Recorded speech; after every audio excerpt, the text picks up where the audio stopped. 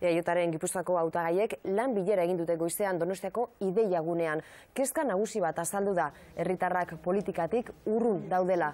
Gabezia horri aurre egiteko informazio gehiago ematearen alde egingo dute. Horrez gain, gardentasuna indartuko dute politikarien agenda publikoa eginez eta parte hartzea bultzatzen saiatuko dira informazio gehiago ematearen aldeko apustua egin beharra dago eda, gardentasuna handiagoz jokatzeko edo jokatzearen aldeko apustua egin beharra daukagu da, eta parte hartzeari edukina eman behar diogu da. Eh? Parte hartzea titudo bat izateaz gain uste dugu merezi du da parte hartzeak beste dinamika batzuk ere sortzen saiatzea.